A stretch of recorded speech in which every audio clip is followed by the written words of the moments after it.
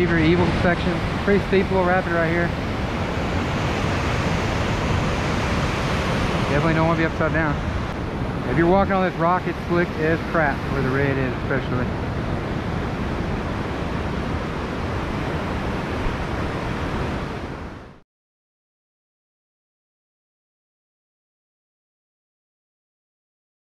A little seal watch area over here. Some people do it, some people don't. Nice little slide out into that pool down there.